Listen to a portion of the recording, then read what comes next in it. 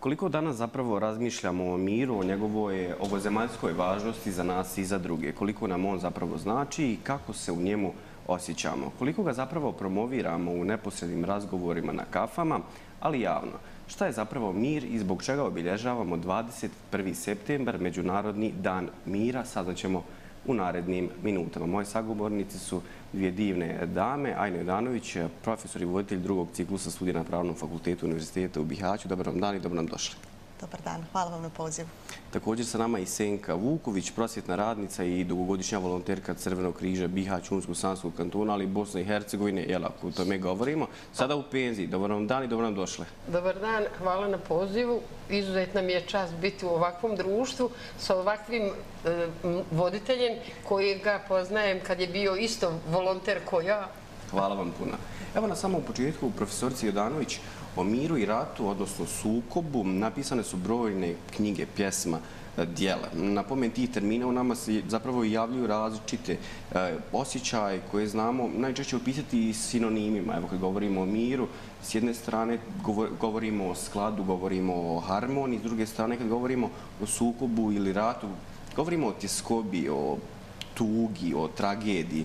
E, kako sa pravnog aspekta zapravo definisati mir i šta on zapravo podrazumijeva? Kolega, još jednom hvala na pozivu i ono što ja moram reći, ne želim zvučati subjektivno, ali mislim da ću u konačnici ipak malo zvučati, da sam jako ponosna što danas, naravno, pored vaše značajne uloge voditelja, e, predstavljate i pravni fakultet, znate, kao student našeg fakulteta i činite jedan e, najznačajniji korak, rekla bih, u samom procesu izgradnje mira, a to je e, raditi na njegovoj promociji. Tako da, jako sam ponosna. Što se tiče uopće problematike i problema rata i mira, moramo imati na umu da su pred predmet interesovanja ljudi od samog e, postanka. E, To objašnjava i činjenica da imamo već prve zapise zapravo o vođenju rata i uvjetima uspostavljanja mira još u trećem stoljeću prije nove ere. Međutim, kada govorimo o tom sistemskom pristupu problemima rata i mira, e, mi se moramo vezati negdje za početak 20. stoljeća uporedo sa javljanjem nauke o međunarodnim odnosima. S tim da bih ja naravno naglasila da na samom početku međunarodni odnosi su prije svega bili koncentrisani na izučavanje rata i konfliktnih situacija. To bi zapravo značilo da je glavni motiv nauke naučnika i istraživača toga doba e, bio prvenstveno usmjeren na istraživanje uzroka i prirode međunarodnih sukoba. Tek nekje 50. godina prošlog stoljeća e, mi zapravo imamo potrebu e, za stvaranje jedne nove naučne jeli, istraživačke discipline koja je trebala u konačnici da odgovori na ona dva najznačajnija pitanja. To su korijeni i suština rata i kako eliminisati rat i s druge strane kako obizbijediti mir. I tada imamo pojavu jednog opće poznatog pravca, eh, peace research ili istraživanje mira. Eh, da se nekako, eh, kada govorimo o pravu na mir, ja volim reći i uvijek pomenuti definiciju koja je proizilazi ili ono što je statuirano u članu 28 opće deklaracije o ljudskim pravima još 1948. godine iz razloga, iz prostog razloga što želim da imamo na umu da upravo e, pravo na mir ne podrazumijeva tu samo negativnu konotaciju od sustva nasilja i sukoba. E, pravo na mir e, sadrži i to posticanje na samo poštovanje ljudskih prava i temeljnih sloboda, što znači da pravo na mir ne smijemo posmatrati izvan okvira tog pravednijeg i dugoročnog razvoja. Također, evo, govorili smo malo o istraživanju, konceptu istraživanja mira i naučnoj disciplini. Govorili smo šta to pravo na mir podrazumijeva I ja volim uvijek pomenuti da postoji kultura mira. E, sa svojim studentima uvijek akcenat stavljam, možda i mogu slobodno reći, na najpotpuniju definiciju koja proizilazi iz deklaracije o akcijskom programu kulture mira Ujedinjenih naroda iz 1999. godine i gdje se kultura mira e, zapravo definiše kao jedan skup stavova, vrijednosti, tradicije i ponašanja koji se zasnivaju prije svega na poštovanju života, odsustvu nasilja, ali isto tako i promociji nenasilja prvenstveno kroz obrazovanje, dijalog, ono što mi sada činimo, saradnju. S druge strane, potpuno poštovanje suverenosti, teritorijalnog integriteta i političke neovisnosti svih država svijeta, naravno opet u skladu sa međunarodnim pravom, ali isto tako ono na čemu uvijek insistiram, poštovanju ljudskih prava i temeljnih sloboda, promociji mirnog rješavanja sukoba među državama i s druge strane, ono posljednje, ali ništa manje značajno, da radimo konstantno na promociji principa slobode, demokratije, pravde, tolerancije i razumijevanja na svim nivoima društva i među narodima. Da, evo zapravo vi ste spomenuli eh, ono što je najvažnije kada govorimo s pravnog aspekta o miru, eh, ide prvo pravda, život, odnosno poštivanje ljudskih vrijednosti, s tim u vezi i poštivanje naravno ustavno-pravnih poredaka e, država i svijeta. Tek nekako pred kraj dolazi zapravo sukob, odnosno spominjanje sukoba, iako se često na samo misa o miru e, vezuje upravo ta teorija o osustvo rata. Jeste. E, pa pazite, to je možda ona prva definicija za koju uvijek kažemo. E, Naprimjer, evo ja uvijek volim referisati se, ali ima smisla. Kada mi studenti ovako u razgovoru e, nastoje objasniti šta rat podrazumijeva, e, uvijek je to prisustvo sukoba, a ono što nije rat, onda je odsustvo sukoba. Ali evo baš ova najpotpunija definicija koja zapravo e, u tom nekom sveobuhvatnom smislu pominje kulturu mira, akcenat stavlja i na poštovanje ljudskih prava, na promovu promociju eh, jeli, tog mirnog rešavanja sporova i na sve ove vrijednosti koje sam pomenula. Što znači sigurno eh, tek u tom nekom eh, zapravo, da bismo dali odgovor šta podrazumeva pravo na mir, moramo se referisati na sve te pomenute vrijednosti, a ne samo reći da je to odsustvo sukoba. Gospodžo Vuković, kako se je živjelo zbog vašeg prije svega višegodišnjeg iskusa kao prosjetne radnice, ali vašeg svakako angažmana u volonterskim aktivističkim aktivnostima Crvenog križa? Moram vas pitati kako se je živjelo prije početka ratnih sukoba na tlu Bosne i Hercegovine, odnosno tadašnje jugoistočne Evrope, konkretno Jugoslavije. Kako je izgledao život? Pa ja mislim da je život za sviju izgledao daleko drugačije nego što je nastao poslije u ratu i poslije ratnog sukoba, odnosno u poraću. E, naravno da smo mi svi koji smo e, živjeli u onom periodu, u ono vrijeme, odgajali svoju djecu u svojim krugu svojih porodica, u školama, u organizacijama. Nama je to sve u odnosu na ovo što je kasnije došlo bilo idilično. Mi smo zgražali se kad se čuje e, kad neka vijest da je negdje došlo do ratnih sukoba. Jer mi smo bili ono, ma kakvi kod nas ratni sukobi. Čak sjetim se da sam išla sa sjednice nastavničkog vijeća, prva vijest u aprilu da je u Krupi došlo do sukoba, mi kažem, Krupa 35 km, ma neće to kod nas doći. Mislim, zbilje smo živjeli drugačije. Ne znam, je li se iko osjećao ugrožen? Mislim da niko nikad nije ni spominjao tu riječ. Moglo se biti ugroženo od poplave, moglo se biti ugroženo od požara, od potresa, ali da bi bilo među ljudski sukoba ovako na ovim razinama e, smatrajući rat jednim užasom. Mi to nikako nismo mogli zamisliti da to može kod nas dok nije se dogodilo. Vi ste do tim momenta, dok nije počeo zapravo rat na teritoriji Bosne i Hercegovine, obavljali dužnost ili prosjetne radnice ili tako. Kako ste zapravo dočekali rat na tlu grada Bihaća, odnosno na području Biječkog okruženja? Ja sam majka, samohrana majka troje djece bila, koja je bila Čerka starija je bila punoljetna, ovo su dvoje bili djeca manja, mlađa. Tako da sam ja morala biti njihova podrška, podrška mojim svekru i svekrvi, mojim roditeljima. Djeca nisu mogla ići na nikakve e, ratne ovaj, zadaće, da su trebali tako nešto raditi. Jes čerka starija bila godinu dana u korpusu, a mene je mjesna zajednica imenovala koordinatorom u stvari Crveni križ grada Bihaća, tada općine, imenovao me koordinatorom Crvenog križa za mjesnu zajednicu Harmane u čem smo mi bili sastavu.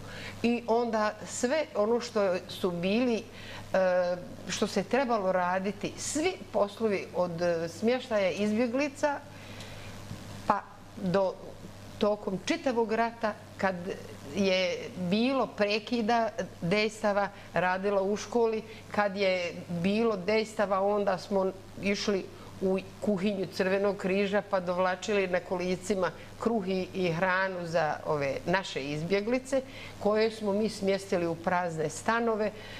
Znači, ja sam bila, ja sam svoju čerku dovodila kad sam dežurala u mjesnoj zajednici e, u Ozimcama dva, ja sam nju dovodila sa sobom i ona je kraj peći bila, kod mene grijala se jer nije bilo struje i tako dalje. Zašto ste vi važni u ovom razgovoru i nekako to ste natuknuli u telefonskom razgovoru prije same emisije i vaše gostovanja. Vi ste bili zapravo na drugoj borbenoj liniji, to ste i sami kazali. I e, vaše zapravo iskustvo, odnosno prijelazi iz mira u to ratno stanje, stanje sukoba i konflikta je veoma važno. Kazali ste i da ste pomagali i ranjenicima i izbjeglicama, da ste sakupljali najdragocijeniju najdragoceniju e, ljudsku tečnost, odnosno krv. Također da ste sakupljali i sortirali e, prehrambene i sve druge humanitarne e, pakete. Sjećate li se neki anegdota? Vjerujem da da ih je na stotine. Ma sjećam se svakako.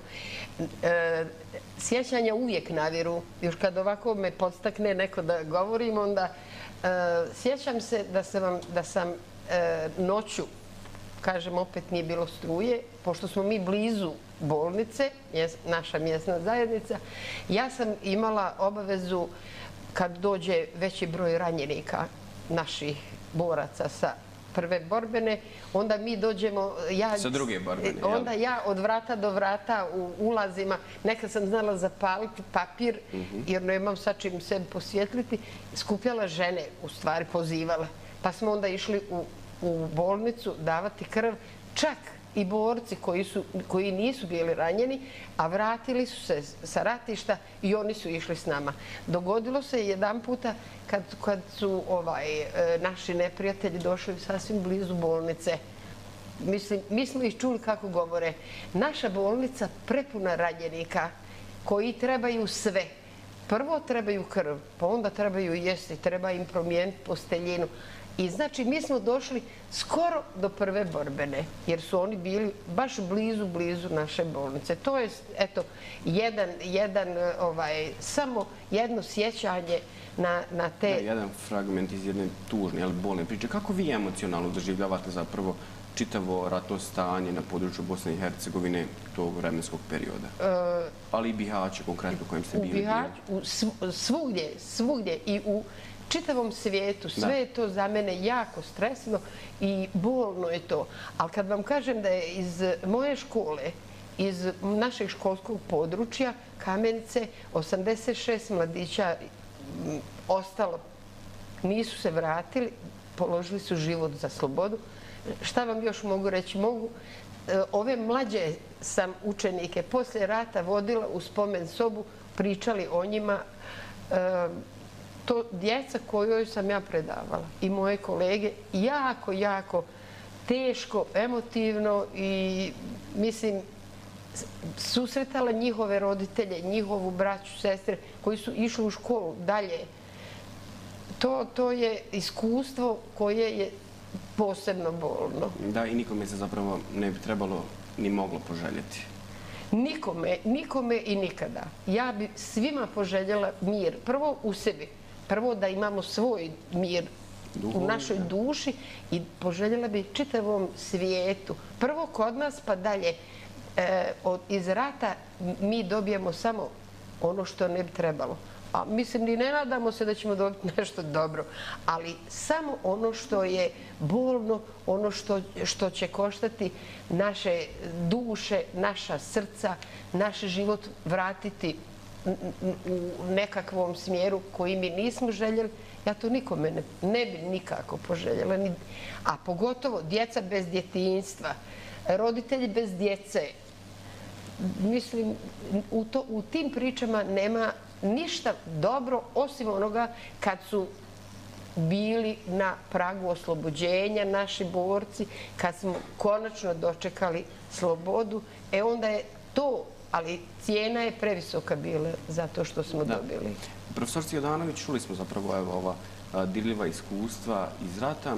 Vjerujem da je tu bilo svakako i lijepih iskustava, no teško ih možemo zapravo nazvati u takvim okolnostima, u kakvim su se zapravo ljudi nalazili.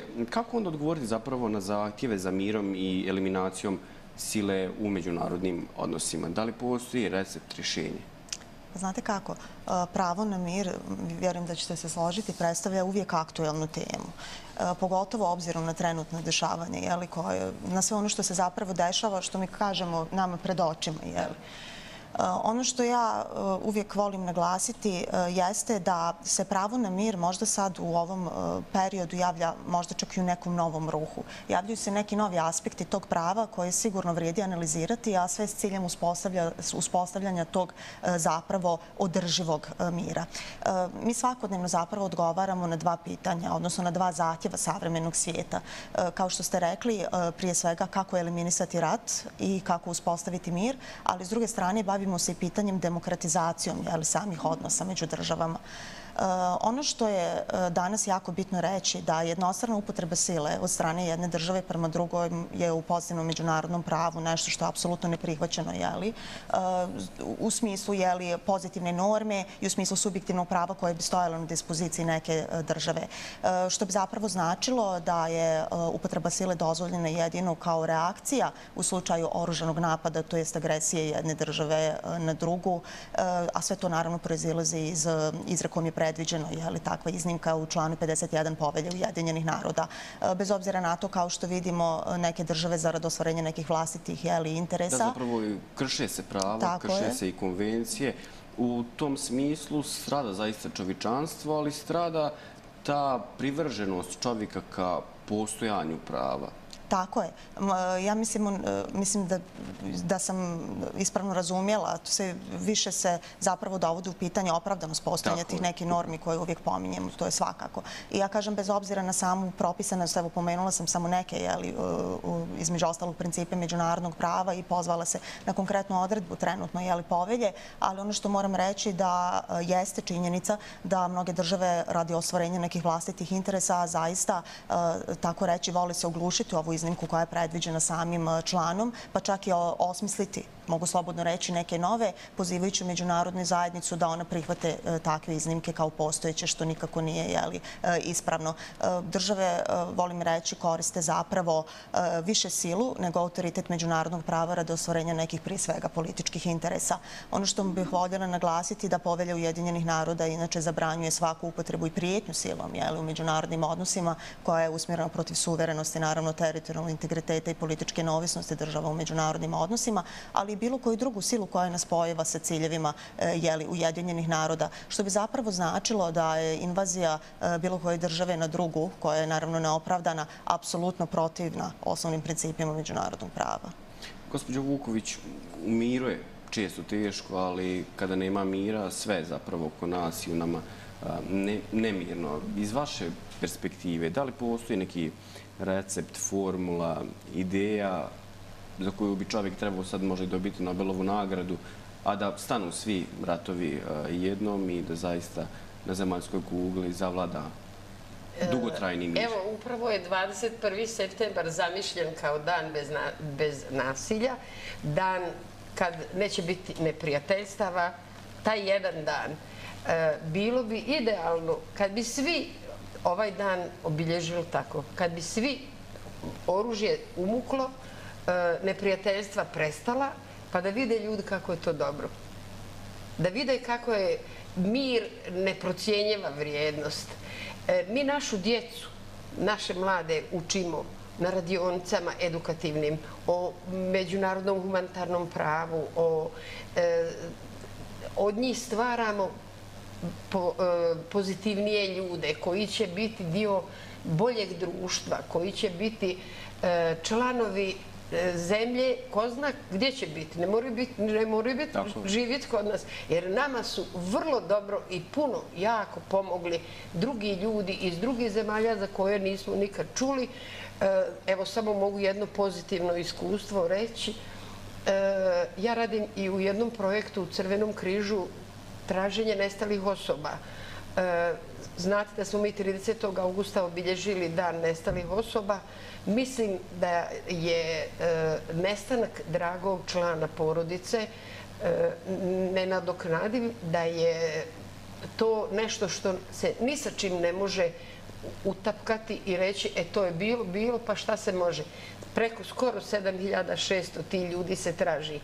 E, nešto e, ne zna se, naravno, neću o tome puno pričati, ali da vam kažem da je sreća u nesreći, to je to pozitivno, što su e, članovi Međunarodnog komiteta Crvenog križa e, obilazili e, naše zarobljene lju i civile i borce koji su se nalazili u logorima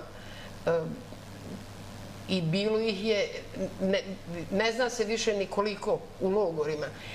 Svi koje su ovi našli predstavnici Crvenog međunarodnog komiteta su evidentirani. Sada, kad oni traže, ovi koji su na sreću preživjeli, kad traže dokumente, kad traže dokaz da su bili tu, ako oni u bazi podataka njih je Međunarodni komitet uveo. Ako su u bazi, oni taj certifikat dobivaju koji im silno puno znači. Ima puno beneficija u čitavoj Evropi jer našeg svijeta ima svugdje. Znači, eto, to je sreća u nesreći što su evidentirani. Međunarodni komitet je e, napravio bazu podataka i eto, ti ljudi sada ma kako su prošli torture, ma kako su pogođeni, povrijeđeni, e, invalidi, svašta onoga što nije se trebalo ljudima dogoditi, ipak su živi, ipak eto nešto će, neko razumijevanje sada očekuju i imaju ga. Ne samo kod nas, nego u čitavoj Evropi. Da. Evo kad govorimo zapravo o 21. septembru, profesor Jodanović, e, Vjerovatno smo i u našoj mikrosredini ovim razgovorom zapravo, vjerujem, doprinijeli i našim gledovcima, ali nama samima da ponovo porazmislimo o miru, koliko je on značajan u zaista jednom teškom, turobnom vremenu, vremenu konflikta, konstantne propagandne, političke prvenstveno. Šta u narednom periodu raditi da bismo još kvalitetnije, još svrsishodnije zapravo shvatili šta je 21. septembar, šta je zapravo Međunarodni dan mira? Eh, ja ću nastaviti u duhu eh, eh, razgovora moje uvažene i divne sagovornice danas, a to je ta aktivnost i rad sa mladim ljudima koju ja uvijek potenciram. Naime, voljela bih pomenuti e, da sam kao projekat menadžer na jednom međunarodnom projektu zajedno sa studentima Univerzitetu u Bihaću e, učestvovala na tom značajnom projektu zajedno sa univerzitetima iz Ukrajine, Poljske e, i Kirgistana. Naime, onako zajedničkim snagama smo nastojali obraditi neka značajna, rekla bih, tematska područja Eh, kao naše teme istraživanja. Između ostalog smo se dotaknuli tu i pitanje prava na mir, eh, odnosa između državama, odnosno sigurnosti na nekom globalnom eh, nivou.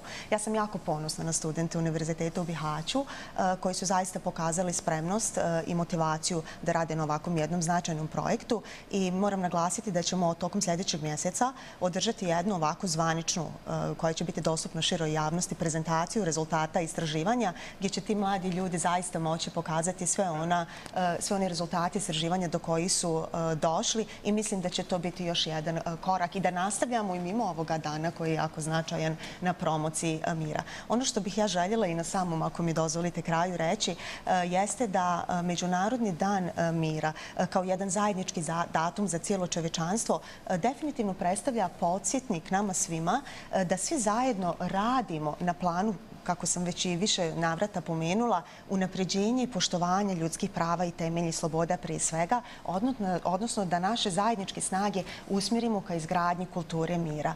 E, ja volim reći da je Međunarodni dan e, mira e, zapravo jedan inspirativan podsjetnik šta mi to sve možemo zajedničkim snagama kreirati.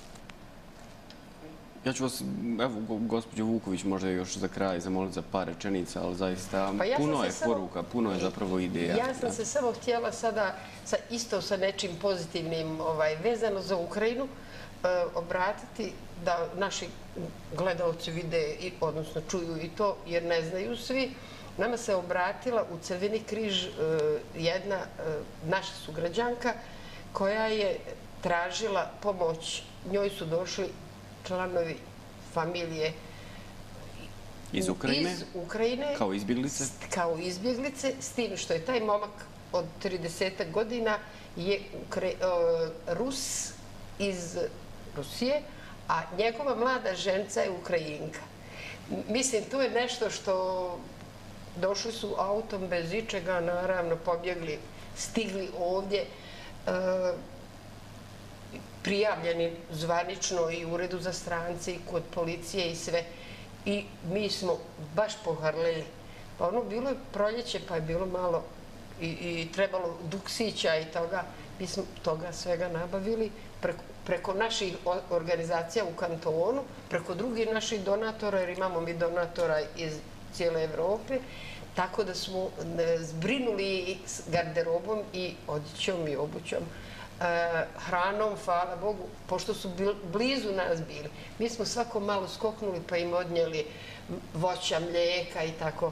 I onda sam ja dobila informaciju od Federalnog crvenog križa da postoji u Sarajevu jedan hotel koji je izuzet, nije bitno od koga, i oni su tu imali pravo besplatno boraviti. Da vam sad kažem happy end, oni su otišli i sad se nalaze u Engleskoj što me jako obradovalo. Mislim, eto, eto šta se sve može učiniti da čovjek pruži ruku čovjeku, a da vam ne kažem da je naša vlada nama dala sredstva koja smo mi, 100.000 maraka koja smo mi preko društva Crvenog križa, dakle državnog Crvenog križa, uplatili kao pomoć državi Ukrajini. Znači, može se svašta negativno okrenuti u pozitivno E, i ljudi, samo je do ljudi. Kad bi ljudi svi osjetili e, u sebi ovo, ovo što mi osjećamo i mi koji se bavimo humanitarnim radom pogotovo, onda bi zaboravili na pucanje i na rat i Završit ćemo u duhu one pjesme koje smo, vjerujem, svi učili kad bi svi ljudi na svijetu bili baš kao sva djeca na svijetu. Hvala vam puno na gostovanju, zaista hvala na divnim informacijama, odnosno prelijepim iskusima, prije svega vam, gospođo Senko Vuković, koje ste podijeli iz onog teškog vremenskog perioda, ali o ovome sada i naravno vama, profesor Cijodanović, na također zanimljivim i utemljenim činjenicama, odnosno pravnim faktima koje trebamo slijediti. Hvala vam na gostovanju i puno sreće u narednom periodu. Hvala vam. Bilo nam je zadovoljstvo. Uvijek na raspolaganju. Hvala vam. 21. septembar, Međunarodni dan mira. Nije 2. oktobar, ali ja glasam za mir. Idemo na marketinški blog, nakon toga muzički predah, onda se vraćamo u studiju. Ostanite uz nas.